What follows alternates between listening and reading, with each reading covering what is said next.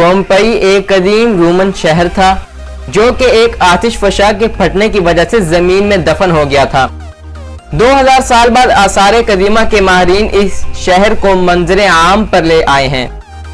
اس قدیم شہر کے لوگوں کو حادثے کے وقت کسی قسم کے بچاؤ کا موقع نہیں مل سکا تھا۔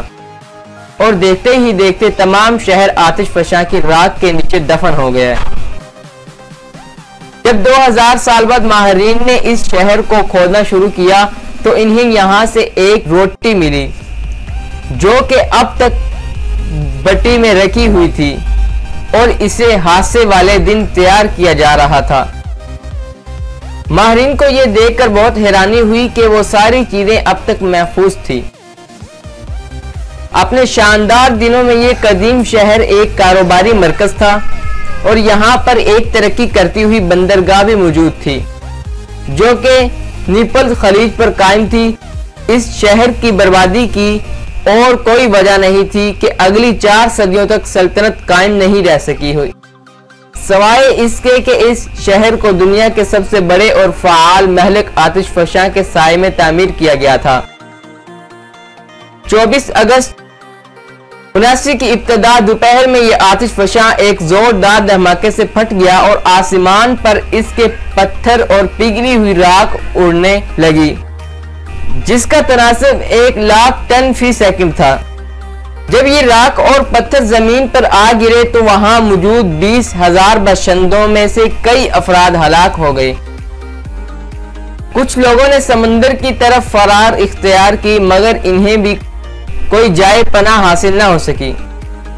زیادہ تر یا تو گٹ یا پھر لاوے کی آگ سے جل کر ہلاک ہوئے۔ ان آتش فشاں کی لہروں کا درجہ حرارت سات سو پچاس فارن ہائٹ تھا اور ساتھ ہی زہریلی گیس کا بھی اخراج ہو رہا تھا، جو کہ ساٹھ میل فی گھنٹہ کی رفتار سے سفر کر رہی تھی۔ بنیادی طور پر اس آتش فشاں کے پٹنے کا عمل اٹھارہ گھنٹے تک جاری رہا اور باقی سرگرمیاں تین دن تک جاری رہیں۔ اور بیس ہزار سے زائد نفوس اس کے ملبے تلے دب گئے۔ اس سب کے ٹھنڈا ہونے کے بعد کوئی ثبوت نہیں رہا کہ یہاں کبھی کسی شہر کا وجود بھی تھا۔ صدیوں پہلے یہ گم شدہ شہر پومپئی اچانک حادثاتی طور پر اس وقت دریافت ہوا جب اٹھارہویں صدی میں ایک کسان نے کنواں کھودنے کے لیے کھدائی کا عمل شروع کیا۔ جب اس کی مزید کھدائی شروع ہوئی تو واضح ہو گیا کہ اس شہر کو آتش فشاں نے ایک لمحے میں اپنے قبضے میں لے لیا تھا۔ اس بڑی تباہی کے باوجود یہاں سے ملنے والی عمارتیں خوبصورت مجسمے اور نمونے جن کے رنگ جدا گانا تھے۔ بالکل سالم تھے۔ اس شہر میں ایک وسیع کھیل کا میدان، مارکیٹیں، گرم اور سرد غسل خانے، صاف پانی کی مسلسل فراہمی، وسیع باغ، شاندار سرکاری عمارتیں اور گھر، جن میں سے بعض میں مرکزی حرارتی نظام کی موجودگی اور کچھ سوئمنگ بھی موجود تھے۔ یہاں کے شہریوں کی مصروف ترین زندگی اس جانب بھی اشارہ کرتی ہے کہ یہاں پر کم سے کم نواسی فاسٹ فوڈ کیفے بھی موجود تھے۔ یہ جگہ آثار قدیمہ کے ماہرین کے لیے نہایت اہمیت کی حامل ہے۔ کیونکہ یہ یورپ میں اپنی نوعیت کی انوکھی جگہ ہے، یہ یادگار عمارتیں اور دریافت ہونے والی پینٹنز اپنی مثال آپ ہیں۔ یہ کھنڈرات ایک سو تریسٹھ ایکٹر رقبے پر پھیلے ہوئے ہیں۔ یہاں کی آبادی کا روزمرہ کی زندگی کا ثبوت ہر قدم پر موجود ہے۔ یہاں کی سڑکیں بار اور دکانوں سے سجی ہوئی ہیں۔ حادثے کے وقت انتخابات کی مہم بھی جاری تھی، جس کے بارے میں وہاں کی دیواروں پر نعرے اور سیاسی پروپیگنڈے بھی پین سے تحریر تھے۔ ایک بڑے گھر کی امیر عورت جولیا فلیکس کی علامت بھی موجود ہے۔ جو کہ معزز لوگوں کو کرائے پہ کمرے مہیا کرتی تھی۔ کسی بھی عمارت میں چلتے ہوئے وہاں پر موجود باغات، چشمے اور کچن کو دیکھا جا سکتا ہے، جو کہ آتش فشاں کی وجہ سے تقریباً تباہ ہو چکے ہیں۔ اس شہر کا تقریباً دو تہائی حصہ دریافت کر لیا گیا ہے اور کھدائی ابھی جاری ہے۔ پمپائی میں زندگی اچانک موت میں تبدیل ہو گئی۔ آتش فشاں پہاڑ آگ اگلنے لگے۔ سیاد ہوا چاروں جانب پھیل گیا۔